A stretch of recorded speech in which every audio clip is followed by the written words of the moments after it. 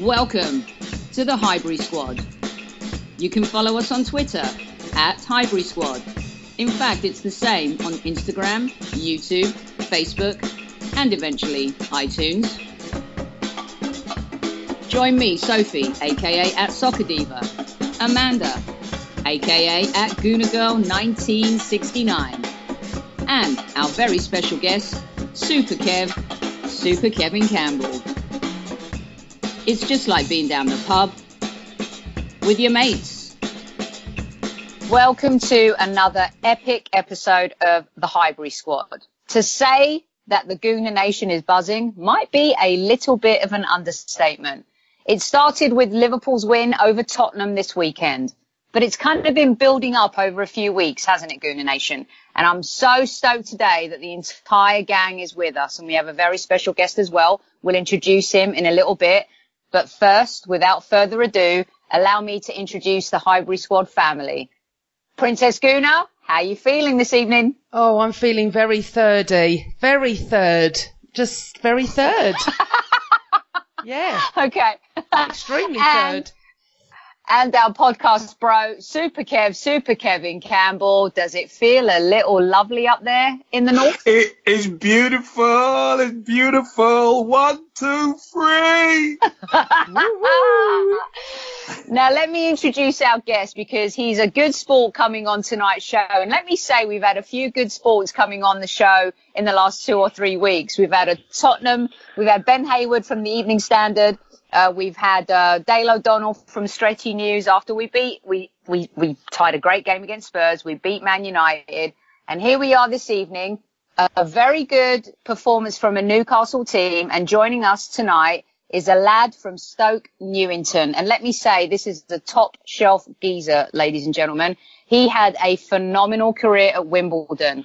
And listen, millennials, if you don't know about Wimbledon, you go Google it and look that crap up because let me tell you something. This was the team of all teams. When you talk about March Madness, the basketball right now and Cinderella and upsets, Wimbledon was that team. He then went on to Newcastle United and had a phenomenal career. 164 appearances. You can now see him every single day, every single weekend on our screens in the United States on Fox Soccer. Let me introduce to you one of the nicest men in football, ladies and gentlemen, Warren Barton. Woo! Hi, Warren. Thank you very much. That's a bit of an intro, that one. Yeah, how do I follow that? No, I'm not I feeling mean, 30 at listen, the just have Kate try and 30. do that. And no one at Fox Yeah, is going to give you that kind of intro, Warren. Just have a word with them, mate. No, I know, I know. I don't get the, the loving that you're giving me now. I feel, I feel very like 17th, 18th place at the moment, not third anyway, for Newcastle. Well, let me tell. Let me before we get to tonight's game. I did want to say one thing, and I wanted to get your take on this because I think any other manager, Newcastle United, is in that trouble zone. It's in the uh, it's in the Huddersfield zone this season. Warren, before we get to kind of talking about what happened this evening, Rafa Benitez has done an incredible job with very little at Newcastle, not only this season, but over the last couple of seasons. Is he not the main reason why you guys are staying up? And to be honest with you, for a fair bit tonight against Arsenal, did a brilliant job defensively, kind of putting all your men behind the ball. Is Rafa not the guy that you have to keep hold on, uh, you know, hold on to as opposed to trying to find other players in this off season? Isn't he the MVP for you?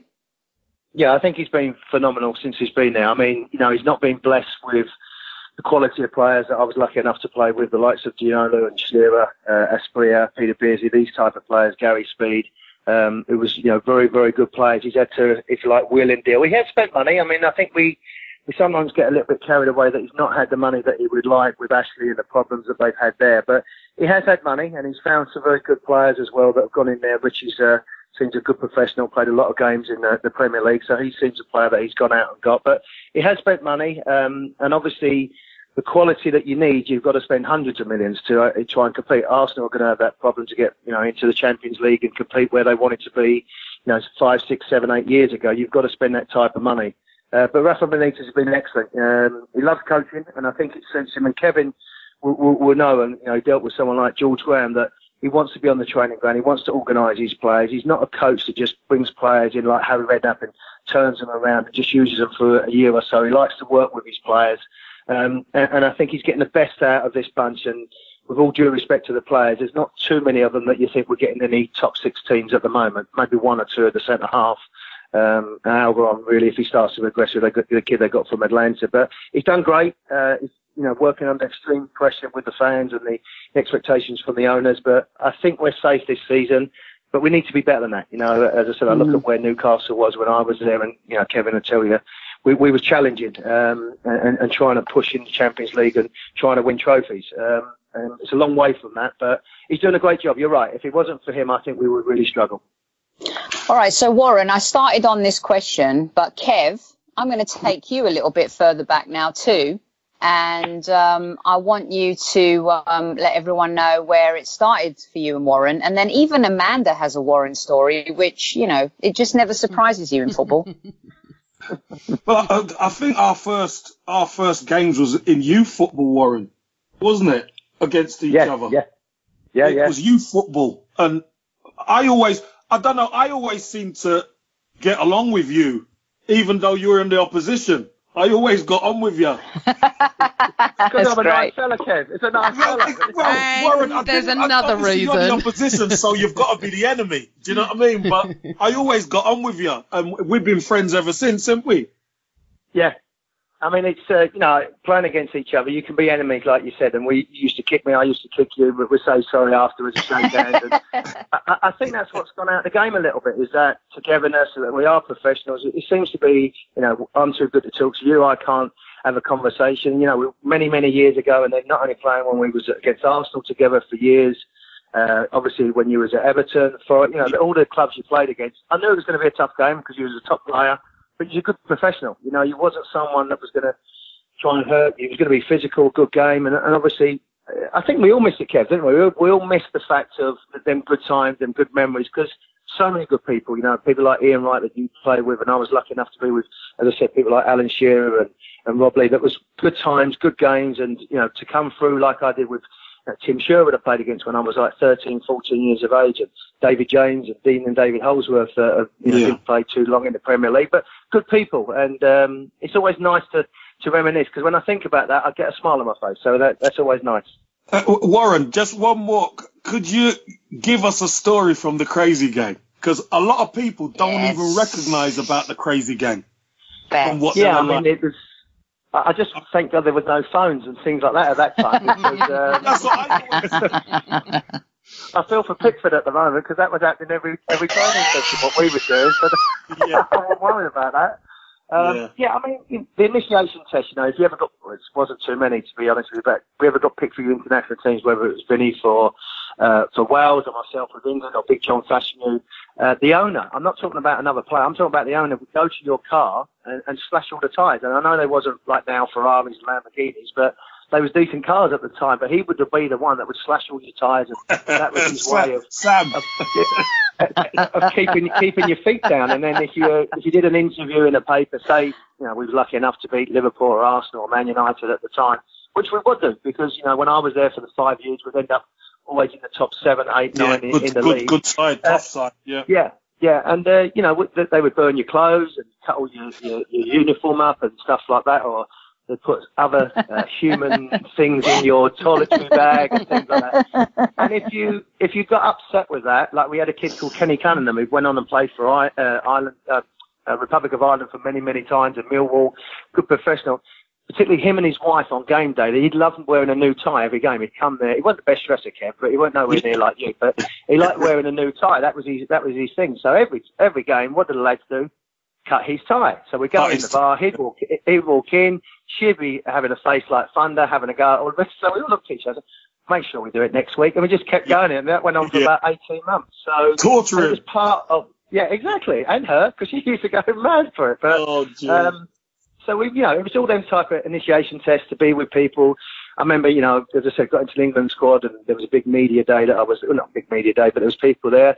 They thought it'd be hilarious to strip me and throw me in the puddle. So I had to walk past the whole of the press people there with their cameras with a, a police cone over my bits and pieces. So, uh, and it was, Kev, it was one of the big police cones as well, son. It was one of Oh, it had to be, didn't it, Warren? it, it was one of them little markers, I tell you, No. end the A3. oh, no. Oh, so Warren, we're going to go back to your youth, right back to your youth. So what the listeners Oh, no, don't know is that you and I knew each other when we was about, I don't know what, 10 or 12 years of age? That Yeah, sort of yeah. time, I assume, when you was in Walthamstow and I lived next to your family and you used to come and play football with us and so many funny stories that I will not put on here. I mean, the New Year's Eve party was funny enough. That's all I'm going to say. But going back to then, um, I remember the team that you supported. Are you going to tell us all who you supported? Yeah, I'm very, very proud of it. I was, uh, my dad was uh, a big fan. My brother, my older brother Johnny as well, was a big Arsenal fan. As you said earlier, I was born in Stoke Newington, um, you know, only about a mile away from the ground. And at the time, people like Liam Brady was my hero, Frank Stapleton, David O'Leary, going to the marble stairs. And it was quite surreal, really, when I ended up playing at Highbury the first time to walk up them marble stairs, turn right into the changing rooms. I was going to say lo- locker rooms, and I've been here too long, but turn into the changing rooms and go to the heated floors. And it was nothing like that at Wimbledon. I tell you, it would be concrete floors, and we used to, you know, You put, used to uh, wet shorts in- we used to, used to pee on the floor to, to make sure the showers were cold. But Yeah, to go do oh, that, being, to be, being up, hey, Kevin, hopefully you never had a cup of tea at uh, Wimbledon. Not, you shouldn't have gone in the sugar bowl. I, I would never touch it. exactly. um, and, you know, playing, playing there and, you know, seeing the, the clock end and the North Bank and, and being there was surreal. And, um, you know, it's always to me, it's a, it's an old term maybe because we're, we're reminiscent. It's a proper football club. You know, Yeah. the likes of Mm. United are, and, and, you know, you look at the likes of Arsenal, Liverpool come into that bracket. You know, it's got great tradition, great history. And when you play for a club like that, it, it, it means a lot. You, you've, you've achieved something special because there's not too many people can play for that. And I was lucky enough to, to play against them and, and, and score against them and things like that. I was going to And, ask uh, you that yeah, no, no, actually. How was it playing against Arsenal at Highbury? What was it like? Oh, it's Wow. fantastic. I mean, it was, you know, playing against these players and, you know, from Kevin's time and then when the likes of Omri and, uh, and Bergkamp was there, I mean, it was, it was magnificent. And, you know, you want to play against the best. And if they was wearing that red shirt and playing for the Arsenal, you knew they was, they was good players. So it's always special. And Kevin be the same. You want to play against good players all the time. And we knew where we come from and how hard we'd worked to get there. And, uh, but sometimes you used to look across and you have Big Tony at the front and David Seaman and then you'd have Martin Keown, who's only a mother would love his face. So he, he's, he's standing there, snarl, snarling at you. And then you've got Patrick, Mal Petit, and then you think, okay, all right, can't get any harder. And then Dennis and Henri would walk out at the back of him. And you think, well, we better be up for this game and make sure. And, you know, at the time at Newcastle, we'd have you know, some good players and obviously at Wimbledon. But uh, special times because, uh, as I said, you know, we had one of the most innovative coaches ever with Arsene Wenger. Uh, and before that with George Graham, who I had a lot of time with as well. Um, and a great football club. So yeah, I was very proud to support them. As you get older as well, you drift away. I mean, obviously, I'm a big fan of Newcastle's tonight. I want them to do well because of the fans and, and the club, and you know, living in that area for eight years, uh, a big, big heart. But I always look at Arsenal and say that my oldest son Milo is a big Arsenal fan as well as my brother Johnny. Yeah, You know Johnny. what? You know, y- you know what, Warren. Um, you know, I love hearing your. I love hearing players talk authentically about the teams they loved growing up, despite the teams that they go on to play for. Because I think as a professional, you can completely separate the two. And you really did have a wonderful career at Newcastle United. And um, when you look at like your love for Arsenal and all the rhetoric that's gone, gone on in the last maybe three or four seasons about this grand power shift, and we're living in a time where everyone was saying this is Tottenham's greatest ever season in the Premier League. They're going into this one billion dollar stadium, and you think to yourself, wow, they could actually be playing Europa League football on Thursday nights now. What do you think about that so-called power shift, especially as Spurs haven't really won a trophy? Arsenal won three FA Cups even in their darkest days. What's your take on that rhetoric and that narrative? I think a little bit. I look at it, and uh, I do admire what Pochettino's doing. And I know this is obviously an Arsenal podcast. You have to be. There's a lot of Arsenal fans, and what, and I understand as well. Whatever Spurs do is going to be rubbish. That that comes from my brother as well. So you know, whatever they're doing. But you, you do in today's market where you can spend so much money and just buy success to an extent. I'm not saying that we're totally going to win every trophy, but you can buy your way up. into the Champions League. I do admire what he's doing, you know, going into lower leagues and getting someone like a Dele Alli and giving him a chance to play. That's how me and Kev got to where we go and play for your country and go and play in Champions League and compete and win trophies. Is you, you got the chance to play, and the likes of Harry Kane. It is a new stadium, you know, but it is still in Tottenham, so it doesn't matter where it's going to be. It's it's not it's not going to be like in Islington, which is a wonderful area or anything like that. So, uh, but they built this wonderful stadium. Um, I do admire what he's doing, but it goes back to the old cliche, and we had the same problem at Newcastle. Until you win something, no one's going to take you into that level. And a good friend of Brad Friedel, he was on the show, and I've worked with Brad for a number of years, and we had a big debate when they had a chance of maybe winning an FA Cup or winning a trophy, and they never did. Then they're playing catch up. Until he does that, you're going to keep mm-hmm. asking the question. Klopp's going to have the same question. So, you know, half of me admires what he's doing. He's getting young players. He's got players for the academy coming through. Harry Winks, and all these opportunities that he's given, and they're battling their way out there, but they might just come short because City and Liverpool and United are, are spending that money, and that's where Arsenal need to do that. They've had so many years of success with what Arsenal was doing, getting these young players from whether it was from France or Spain, Fabregas, them type of players that no one had really heard too much about, and come on and making these global stars. Um, that that dried up because everyone was doing that. Now you have to compete with what's out there. You look at PSG and Juventus. You know they're spending money on on Ronaldo, 100 million to try and win the Champions League. So it, it's very difficult to sustain that. And what Arsenal have got to be careful with, and the likes of if like Newcastle, that's just going to end up being a, a third Premier League team, relegate, you know, third tier Premier League team, which is fighting relegation all the time. That's what you're going to be up against unless you break that gap and either develop young players and then uh, obviously go and spend some money on some some big superstars. I mean, Kev, I don't know whether you agree, but I'd rather go and get one top one like we did with Alan Shearer and spend 15 million rather than spend 5 million on three strikers that might get you seven goals each, where this fella's going to get you 25. Yeah, uh, Warren, let me just uh, ask you this because you, you make a good point. Pochettino has done a good job. But and then he comes out in the press and says it's not about trophies. And that bit I don't get because but, if you're trying to build something, it's all about trophies, isn't it?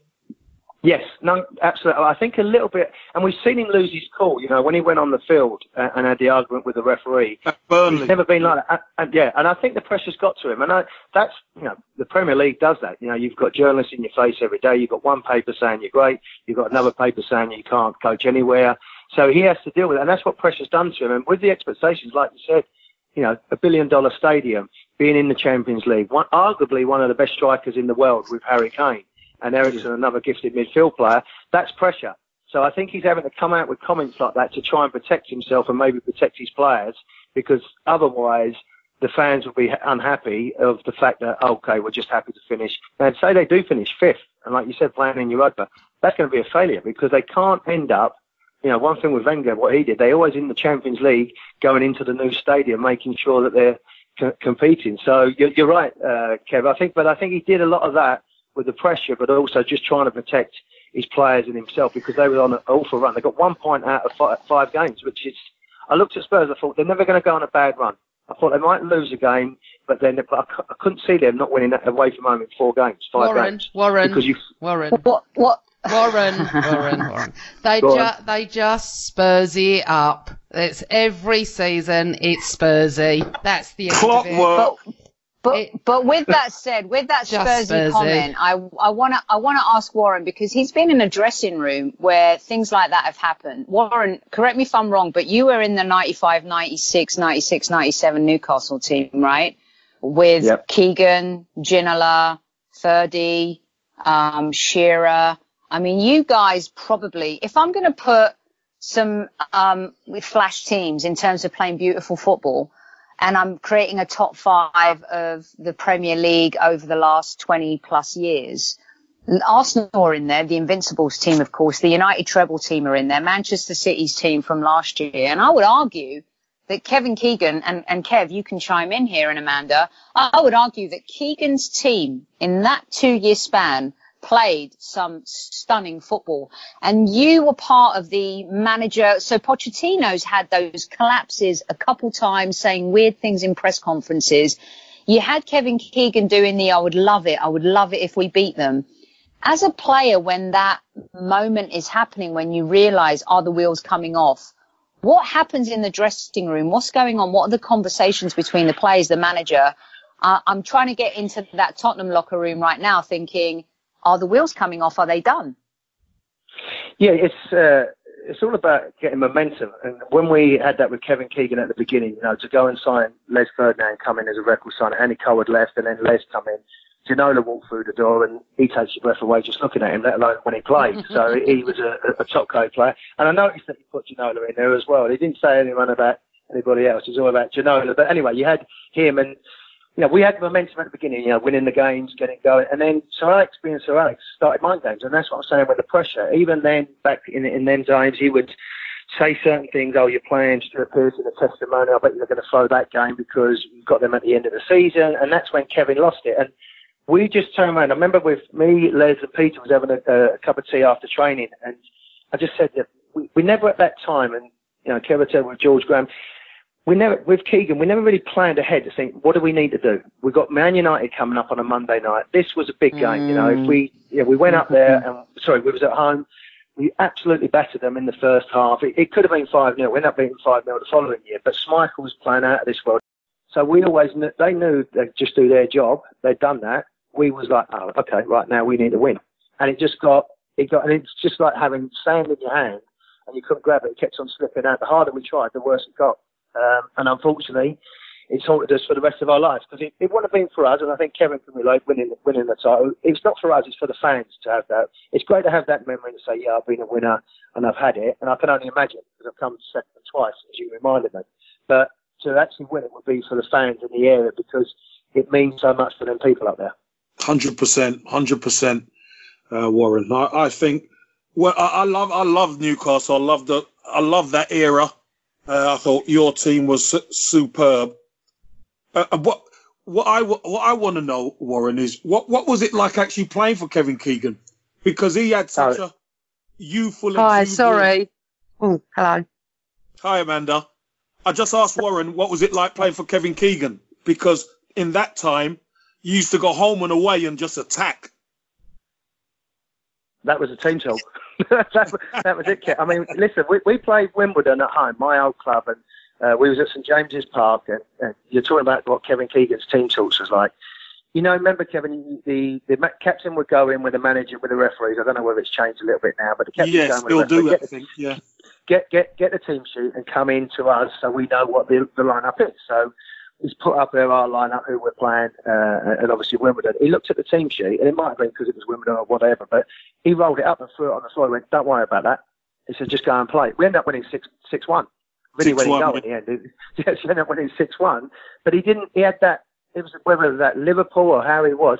He, he respected teams in a sense, but he said, if we play at our best, a bit like Pep, we'll really, if we we'll, play at the best, we'll beat anybody. And 95% of the time we was right, but it's just, you know, when people's maybe a little bit of confidence went, he brought Asprilla in, then instead of having, and you can relate to this with Les and Peter Beardsley was on the same wavelength. You as Righty was the same. You'd flick it on, yeah. he'd run to it. He'd, he'd flick it on, you'd be running on.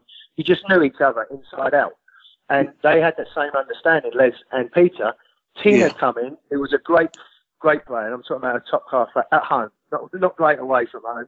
You, yeah. see him at Highbury, but at home, and it just then we put Peter a little bit on the right. Keith then got left out. Ginola was there, and it just left a little bit of the balance. And again, like I would go back to, I said that momentum. But playing for Kevin was brilliant because when it was good, and it was good 95% of the time, he was fantastic. You know, the the way he used to make you feel, the way he would talk to you, um, how good you was as a player, and whether it was just a a, a way of man management, his skills. But when it went wrong, and it happened with England, Kevin, you were like, he sort of went the other way. Then he went, oh no, I'm walking away. I don't want to be like that. I've, as I said, come from you know being told twice I was too small. I'm going to stick with it and fight through it. Yeah. I wanted him to do that. I didn't want him to walk away and say, "Oh, I ain't got the money. I'm gonna. We're never going to win it." I'm going to say, "Well, I'm going to show you what I've got and try and do it." But he was magnificent. It was fantastic to to be around. Um, as I said, great, great training. We used to have fun. It was all light-hearted. Tactics, systems, things like that. No, it was just about right. You're a good player. Philip Albert, you're a good player. Rob Lee, you're a good player. Just get it to Ginola if you're struggling, and if not, just put it on Ledger's head and he'll score. And that's really how it was. Yeah. I remember that Philip Albert. Do you guys remember that Philip Albert wonder goal against United in the rain? Oh my God! Wow, that was amazing. You know, Warren, do you think it's even possible to coach that way these days with everything in the modern game, the the the Keegan way? Is that even possible? Yeah, I, th- I still think you know the, the game has, has changed, and you know there's a lot more understanding of tactics and system. But it is about players, it is about man man management. I'm talking about higher up as well. I mean, you've only got to look sometimes that you know look at Ole Gunnar Solskjaer. He's gone to Manchester United. Arguably, Mourinho is one of the biggest tacticians of the last decade. But it was all too much for them, you know, because of his man management skill and how he hadn't evolved as a coach. Um, that the players wasn't responding. And maybe towards the end, Arsene Wenger was the same. How he hadn't evolved as as much as he maybe would have done. And I think you can get away with that. You know, if you make good players feel great, they're going to be. You know, confidence is such a big thing. And if you make average players good players, and then good players, you know, exceptional players, and then you can get one or two world class players that United have got, and you know, probably Man City and other teams. You, you can have that in effect. So I think you can do that, but I do think there's a lot more into the game about different systems now, where, where before me and Kev, it was really 4-4-2 or 4-3-3, and that was really what it was. I remember with Aston Villa started playing three at the back, and it's like, well, how do you, how do you deal with that when John mm. Gregory done it with Gareth Southgate? Now, yeah. Kev, me, me, and you would know how to play against it. You go and get your number nine, go and stand on Gareth, and get your two wide players to stay. And so the game's evolved as we have as, as players, but at the time it was very much, you know, 4-4-2, it was going to be a battle, and whoever the best players was, nine times out of ten was going to win the game. But the game's changed and evolved. But there's, there's still the fundamentals of teaching players, getting the best out of players, man management players will always be the same because the, the, the game will never change. Do you think Thierry Henry was the best ever we've seen in the Premier League in terms of an attacking player? Apart from Kevin Campbell? Um, um, yeah, that was I, at the I, youth team, Warren. um, I, I, would have, I would have said he, he was phenomenal. Uh, that period that he had, the late nineties, early two thousand, he was unstoppable. And I'm, i was lucky enough to play against him when he was at Monaco in uh, European football in Europa. Uh, and I've never seen anyone as quick as him when he just before he went off to Juventus. Then when he went to Arsenal, and I always really got on with Thierry Henry when we play against each other because we, we swapped shirts when we was at Monaco. Uh, sorry, sorry, when yeah, when he was at Monaco and I was at Newcastle. So you know, we, we've always had that affinity. You know what it's like, Kevin. Swap a shirt, shake hands. You always have one or two words, and, and yeah. he goes on and has a career. But he was arguably the best foreign player, probably the best player ever. In what because he could do it all. He was quick. He had great ability. He could score headers, volleys. Ronaldo at the time wasn't in the bracket of what Henry was. If you know Ronaldo and uh, Messi, they're in, they're from a different planet. But mm. Thierry was him. But he, he did have Dennis next to him, and Dennis sometimes goes on. And I don't know how, but sometimes a little bit underestimated because he was he just made everything tick for Arsenal. I know Patrick and Amal T and Tony Adams get, but I think if you ask any of that group of players, Dennis was was the one that made him tick because he had that side to him. He could he could do it all. But Henry, for me, was the best player arguably to play in the Premier League because I think he epitomises that time as well. Good looking. He had the transition time, right? The tra- he was yeah, part of that yeah. transition he, he could, time. Yeah. Yeah. People could relate to him. They wanted to be near him. He was a celebrity. He, could, he had a certain walk, a strut, and he had it all. Um, but obviously, he can't coach. Warren, were you playing in that? Were you were you playing? Were you playing in the game when Dennis scored that wonder goal against you guys? Probably one of the greatest we've seen. The yeah, the, uh, the listen, chip uh, uh, were, Kevin, you in? We went round yeah. the business. yeah, yeah, yeah, that one. Yeah, yeah. Nikos went to. This is a funny story. Nikos went to me. He went. He didn't mean it, did he? I went, my Greek boy. Joking? My Greek boy. By the way, I love my Greek boy. Nikos we called we called him Beckenbauer and he thought it was a compliment. We called him the Kaiser and he thought it was a compliment. it was like, no, we're not. It's not a compliment. Um, and he, um, he, when Dennis done that, yeah, I mean, uh, he's the only one. This is a quick story. I tell you, he's the only one that's nutmegged me. Uh, Dennis. It was a, it was at Highbury. It was a corner. Big David Seaman punched it in the air and it's gone. I don't know, about 40 foot in the air. Now I'm running towards Pat Rice and um, Arsene Wenger where them little dugouts was right on there. So it's been in the air now for about five, ten seconds, the ball. Dennis has gone out there. The outside of his left foot span it through my legs. Now I'm looking at Pat Rice and Arsene Wenger and I went, he's in good, isn't he? It went straight through my legs and he went round the other side to get it. So if I'm going to get nutmegged, I'm going to have it by Dennis Bergkamp because he was uh, he was a top class player. But yeah, he's the only one that nutmegged me on purpose. Did Brilliant. Kevin Well, if you're going to get did Kevin, by someone, it's good to be nutmegged Yeah, by him. Yeah, if you're gonna get Hey, nutmeg. listen, I'm gonna go, it could have been Zidane, it could have been Giggs, but it wasn't. It was him. So anyway, oh, I'm sick of hearing about Giggs. Warren, we're going to see this uh, shirt pulling off and this FA Cup semi final goal for a hundred million times before the season ends with this 20 year anniversary of uh, United's treble and stuff like that. But we know you're on your way to training. So um, we want to get you out on a few questions. Um, so here we go with our little quick fire round. Real quick, um, do you see Arsenal finishing in the top four? Do they finish above Spurs? top four, and yes, yes, and yes. They've got momentum. All right. Do you think Spurs end up finishing fifth? No, I think You they will think get in the top four. United?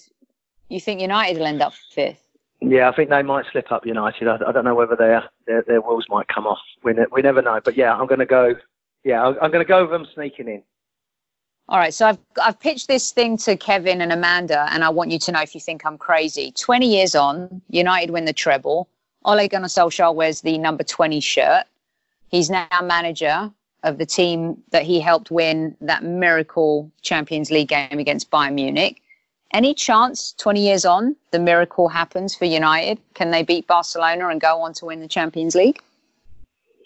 I think they can beat Barcelona. Uh, I think it's going to be difficult because they've got a certain player called Messi. Uh, it's funny how fate is sometimes. Uh, and someone's said already he's been lucky uh, as a coach to do that. I'd rather be lucky than good, to be honest with you. But I don't think they're good enough as a team to go and win it. Uh, as much as his team that he had, maybe they didn't have the night, but they was some really good leaders and personalities. Uh, I still think they're vulnerable at the back. I still think you can you can you can take chances against them. So against the top teams, uh, that's why I think they may slip up a little bit. It'll be a lovely Warren, story, but I don't see it. Warren, who do you reckon's going to win it? Liverpool or I think City? City. Uh, I think Liverpool will win the league. I think City will win the Champions League. Oh, you think Liverpool Liverpool will win the league? Yeah, I've gone with Liverpool. You know, you just get a sneak that result the weekend. They get a little bit of luck. That's what you need, a little bit of lady luck. Uh, yeah, I think City was brought, Pep was brought there to win them the the Champions League. He's already won the league, so uh, I, I think they win the FA Cup. They won the obviously the League Cup, and I think they go and win the Champions League. I think Um, you've just but yeah, been- Kevin by saying Liverpool are going to win the league, hasn't he, Kev? Big time. Are you're at training Kevin, yet? hey, Kevin, Are don't you get at up. training yet? He never get. I- I've never. He just puts out that lovely big smile of his, and then the world's a lot better. So it don't matter, does it? He gives you that good look at that Hollywood smile, and the world's a better. Red place, Nose so John will like it. And Oh. that that bow tie. that bow tie. Okay, so Warren, do we make? How about an All England final in the Champions League and the Europa League? What do you think about them apples? That would be lovely. Yeah, I mean, being over here, obviously in the states, you, you want your, Mm-hmm. your Premier League teams to do well. So I think, yeah, it'd be fantastic. You know, Arsenal win the Europa. They've got a tough game, but yeah, that that's possible. Um, and yeah, maybe a Manchester uh, Champions League final. That'd be interesting as well. So yeah, I, I think that could happen. You know, Warren, I moved here in 2000. I moved here in 2001, a couple months before 9/11, and when I first moved here, I could barely find a game on on uh, football. It was the old Fox channel. There was one game on on a Saturday, and um, I was literally getting my cousins to just hold the phone over uh, for me so I could listen to all the games and to kind of see the journey of not only Fox Soccer and the fact that you were a, a very much involved in the pioneering broadcasting team from the very beginning with Fox to see what NBC have done over the last few years and and the uh, I'm sure you watched all of the stuff in Boston this weekend. The beautiful game really has grown here in the United States. MLS is growing for sure, but the European game has done so much to add the richness to how the great game has grown here and now you're coaching as well. And um, I'm sure I'm going to come to a game one day here where you're coaching an MLS team. Before you go, talk to, talk us through a little bit about the United States, being an expat, living here, having had such an illustrious career in the UK. You've been one of those players that a lot of people know about. Tell us a little bit about what you think about the game here, how it's grown, and through your eyes, what the journey has been.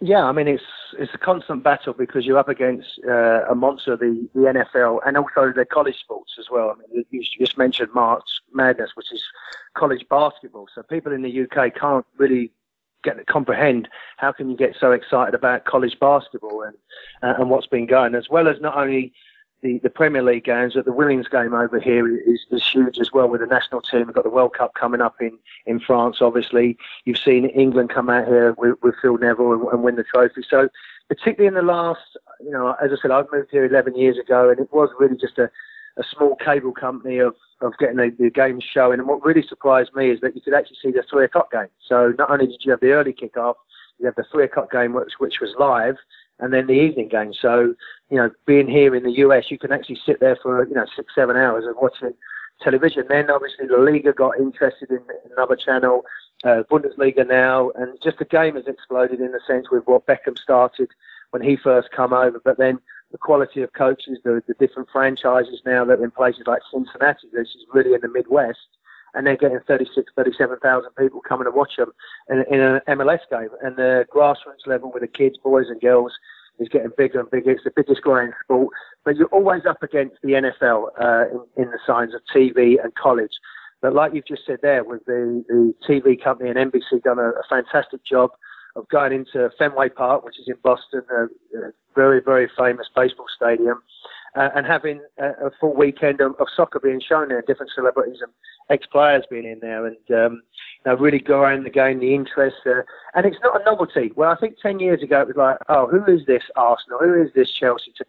They actually know now. You know, the internet. They want to know about players. They know. They really inform the fans, and it's not just now people are just trying to understand the game. They they get the game. They know the game, uh, and now they're ready for that next step of you know different coaches, different players, and the game is being took on a, a more serious level where before you have the NFL, as I said, and you know probably the NBA is up there uh, as well with people like LeBron James, which is a mega superstar, obviously. But now soccer's competing with hockey, baseball. You know, baseball's a little bit like the older person sport. So now soccer's got a bit trendy, younger people, very much Kevin related, like mid '90s, 2000s, when you know people in the cities was getting involved in football. People in the country, what's this game? And they start supporting. So it wasn't just predominantly a male sport. You're getting all different types of walk of life coming to games, which is fantastic. You know, kids coming to watch their games and not feeling that there's going to be any trouble. And it opens up a whole floodgate of a different audience and different people. And I think that's what's happening over here, where it's young, it's vibrant, it's new, and it's going to get bigger and bigger because they've got the appetite, they've got the bug, mm-hmm. um, and, and, hopefully it continues because it's exciting and it makes my job a, a lot easier. Um, and, and, obviously, I've been very, very lucky doing that. You're right, I had a good career back in the UK and 18 years of playing, and then in 2008, I decided to move my family out here, and I won't look back. It's a, great country. It's very positive in what they're doing, and that shows in the the fan base and the atmosphere of the grounds. And you know, as I said, the, the knowledge is there as well. They understand the game, which is which is great, and um, and it's going to get bigger, and bigger, and better as well. Fantastic. Yeah.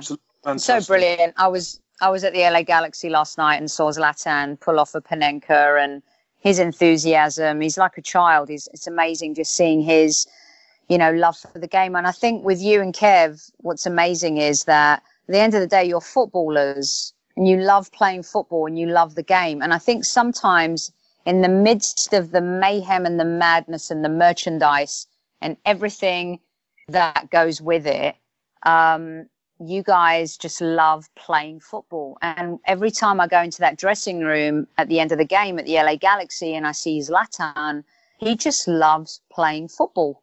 And that's what it is. Mm. I, I like just a, when I started, Kev, it, it weren't, well, I'm going to try much sense it. It weren't about the money. It wasn't about that. It, and, you know, it was about playing and, and doing and well and playing for my country and making it and making it. And I think that it's still part of the game. That's still part of why we get in love with it. That's why we follow it, and why we're excited with England. You know, talking about the young players now that are coming through with England, they think they have that hunger. So hopefully that's part of it because it's arguably the best game in the world. You know, there's not there's not too many other sports that that gets you where you go. And uh, I think both of us, Kevin and myself, knew we was lucky. You know, and we appreciate it, and that's why we enjoy it so much. Big time, big time. I'm gonna, I'm gonna, I'm gonna Love start it. crying. Love it oh, yes. My goal was to make you cry. I've been trying to make Kev cry all season. Um, I mean, I made Amanda cry a few times. Amanda, are you crying over there because your computer's crashed as well? You're right. I know, and I'm so you, sorry, you, Warren. I have I have to go, but it's just been amazing talking to you after all these years. And uh, keep doing what you're doing, and thanks for coming on. But guys, I have to go. You two carry on. Take take All right, care. You, G, take, take care. care See you, Amanda. I will. Bye, Bye all. Bye, Warren. Bye, Bye darling. Yeah, Bye, we're hoping she's definitely got the first half of the show. Uh, if not, we're going to have to call Warren back. But no, uh, Warren, I know you got to go to training and yeah. you don't want to be late for training because you're setting an example for your players, right? Exactly, exactly. Um, yeah, exactly. So, I've got to be there, set up, organised. Ex- exactly. So, Kev, we have to leave him with asking him this question. Emery, first season, no matter what happens at this point, Arsenal have done pretty okay, right, Warren? I think he's done well. It reminds me very much of what Arsene was at the beginning. You know, he's kept to his ideas, he's kept to his principles. He's had to deal with Ozil, which is, wasn't going to be easy. Um, and he still kept that fermenter of being a, a, good, entertaining football club. So I like him. I, I see a lot of him in Europa with Seville. Uh, and hopefully he continues because he wants to play the game the right way. So, uh, and he seems a, a good man. And I think the more people like that are in the game, the better. So Arsenal's future is in good hands, Warren. I do, Kev. I, I really do. I think uh, I think you've got a good manager. I think he's a sensible manager. He knows the game. He knows his players. Uh, yeah, I, I, do like him, and I think it's been a, a tough time because it's never going to be easy following, you know, arguably the best yeah. Arsene Wenger. But, yeah. yeah. Regardless of what people felt for him at the end, which was an absolute disgrace, but you know, the time was right for him to go. He should have gone 18 months beforehand, but he he gone and I think he's in good hands. I like him. I don't know whether you feel the same, Kev, but I, I, I do, do, like him I, as a person. I agree with you, mate. I do. I tell you what, Wenger might be a top shelf coach, but you've been a top shelf guest, Mr. Warren Barton. Thank you so much for coming on the show. And maybe if I can pitch this to you, will you come back in the summer? I'd love to moderate a one on one with you and Kev on a little old school football. Uh, married yeah, with yeah, a new yeah. school um, kind of uh, mental um, look at the game and stuff like that. If you're willing to come back, we'd love to have you. All right, no problem. You only said summer. You'll have to let me know because here it's always 75 degrees, so I don't know when the summer is. It's like, it's like that was for Kevin's day, benefit. uh, listen, as it rains over here. Cheers. Thanks a lot. I'm just going to go and put my flip flops on. Yeah, Warren, you have a great one, mate, and thanks for coming on. And thanks for looking Top after man, me I was out there. Hey, anything for you. You know that. Anything. Anything. Nice Good one, gentlemen. mate. You take, take care. care. Bye, guys. Thanks, Thanks Warren. Bye. Bye. Bye. Bye. Bye.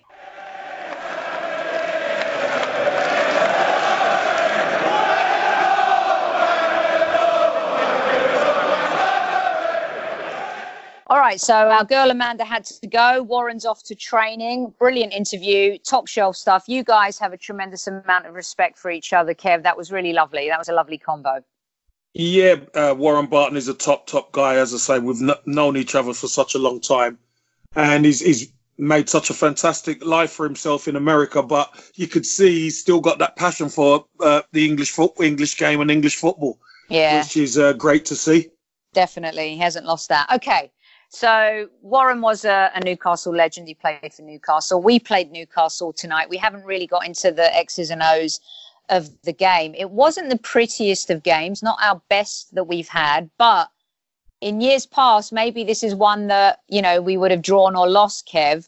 A very professional performance at the end of the day. Would you say that was fair? Yeah, I'd say so. I'd say the result was a lot more important than the performance. Mm. There was times where we played some good flowing football and, and we, we just couldn't really, didn't really have a cutting edge. I think Ramsey's foot, the goal that got disallowed for Sokratis pulling, I think is Lejeune at the back, that should have stood. Um, I thought the referee was a bit picky um, and, and didn't really give us much. But it was great to see Ramsey get his goal, which you tweeted. Um, yes, you did tweet that. Um, and and to see Lacazette get on the score sheet as well, I think is really important. Obviously, Aubameyang wasn't too well, um, so he, he couldn't start. But I think Lacazette he, he works so hard and he's constant threat, and it's always nice to see him get on the score sheet because I think he's a real confidence player, and if his confidence is high, he, he will perform. You know what, and, Kev? Uh, as much yeah. as we've, as much as uh, Lack has been, you know, given a lot of round of applause this season, do you feel like we're underappreciating him a little bit in terms of what he does off the ball. A lot of the times with a striker, we just focus so much on their um, offensive play, their goals, or their assists. But a lot of the times, a great striker, you don't really identify what they do off the ball. Do you feel that is the case with Laca a little bit? Uh, I think as the seasons wore on, a lot of Arsenal fans have realised that Laca is the one who actually makes the team tick.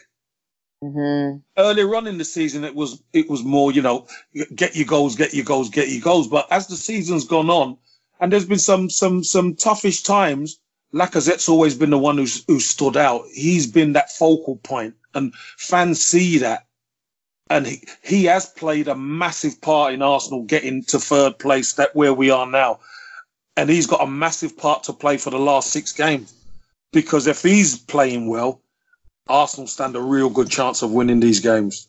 And as a former striker, Kev, can you also appreciate the fact that really for Laca, especially earlier on in the season, he was getting subbed, wasn't he? At yeah. 70 minutes, 65 minutes, even at halftime in some cases. And even when he was facing that adversity, what would he do when he was going off? He'd clap, he'd get, he'd try and get the fans behind the team and stuff like that. He's shown so much maturity and true leadership in a team that's really needed it this season, hasn't he? He certainly has, and I think he's become the talisman uh, mm. for for the team.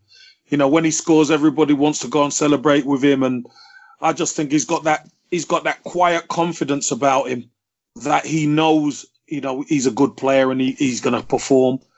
And when he does perform, Arsenal are, are a better team for him being in it. So um, it's great that he's got he's showing that leadership, and hopefully that leadership will, will keep us in third place. Yeah, I agree. And another milestone, correct me if I'm wrong, Kev, and maybe the Gooner Nation will, but I believe this is Leno's first uh, consecutive games clean with sheet. a clean sheet, which yep, is really right. a milestone for him. And let's applaud him because I feel like we haven't really had that stability in the back of the net. Cech has been great for us, of course, over the last few seasons, but it feels like that back four is more cohesive now because they trust who's in goal and he also trusts his back line. It's a bit of a milestone for Leno, don't you think? Yeah, I think having back to back clean sheets is important for a goalkeeper, uh, especially Leno. It's his first season.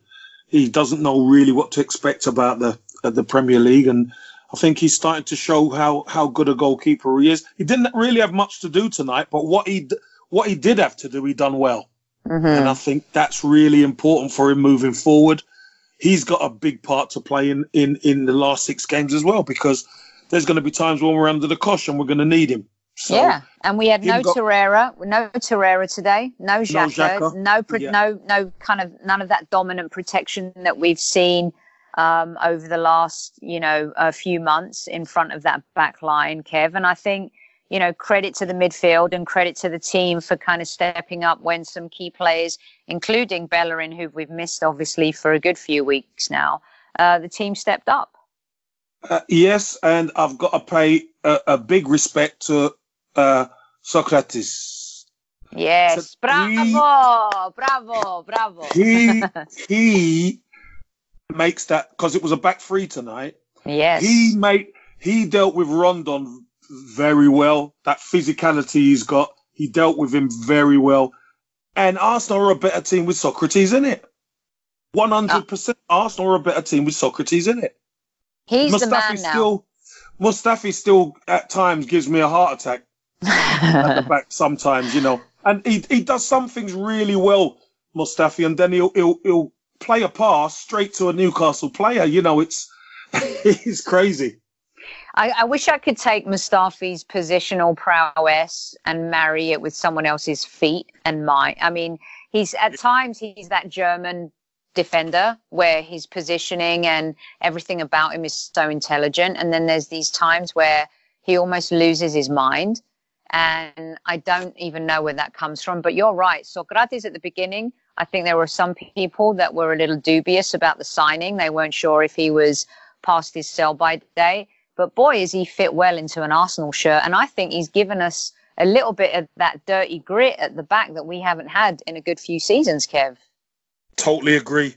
He's he's gritty, he's determined, he's tough, and we've missed that. But you know, he's on nine yellow cards. I, I don't think he got booked tonight. I don't and, think he did.